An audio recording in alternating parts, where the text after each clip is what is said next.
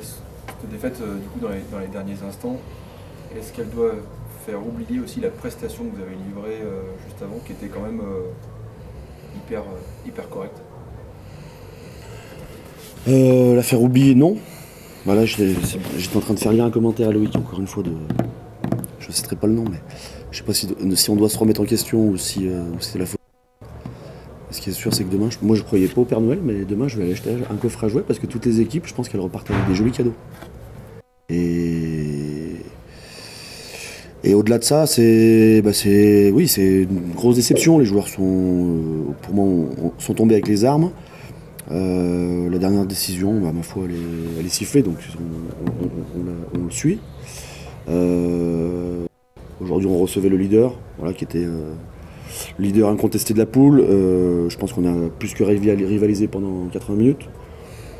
Donc, il ne faut pas qu'on qu'on garde que, le, score, puisque ça serait, euh, décevant et on partirait avec beaucoup de négatifs. Donc, euh, bien au-delà de ça, il y, a, quand même beaucoup de positifs.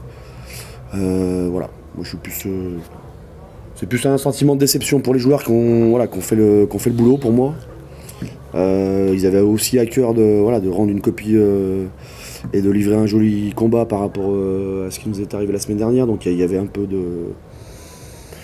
un peu d'émotion extra-sportive forcément. Voilà, je pense qu'aujourd'hui, si. S'ils voulaient se livrer par rapport à, Joe, ben, je crois qu'ils l'ont, ils ont quand même, ils ont réussi au moins ce- cette, cette partie-là. Donc on, retiendra, on retiendra ça parce qu'on doit continuer d'avancer. Euh, il nous reste un match à domicile la semaine prochaine. Donc on va, je pense que le match a laissé des traces. On va essayer de bien récupérer pour, euh, bah, pour recevoir euh, hier dans de bonnes conditions. Et puis voilà, Nice a été leader toute l'année, donc on va dire que si on suit le, classement actuel, le résultat paraît logique finalement. Mais voilà, nous on sait, on sait d'où on vient. On sait aussi que, enfin moi je sais que les joueurs ont, ont livré une belle bataille. Euh, ils ont mis beaucoup d'intensité. Je pense que les gens aujourd'hui ont dû apprécier de voir un, joli match de rugby quand même.